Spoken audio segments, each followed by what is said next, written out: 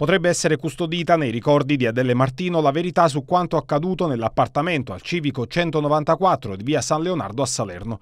La sorella di Maria Grazia, l'anziana di 91 anni trovata morta in casa, è però ancora in precarie condizioni di salute. In queste ore i medici dell'ospedale Ruggine hanno disposto il trasferimento nel reparto di neurochirurgia.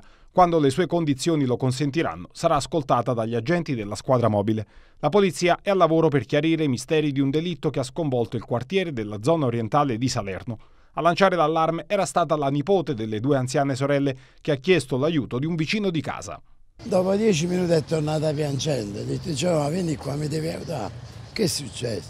Vieni qua, io sono entrata dentro, le mie zie non le trovo, le sto chiamando, non le trovo. C'era tutto sotto sopra. Quando sono entrata dentro ho trovato una scena, tutti i mobili sotto sopra, i cassetti, sangue a terra, pantofoli.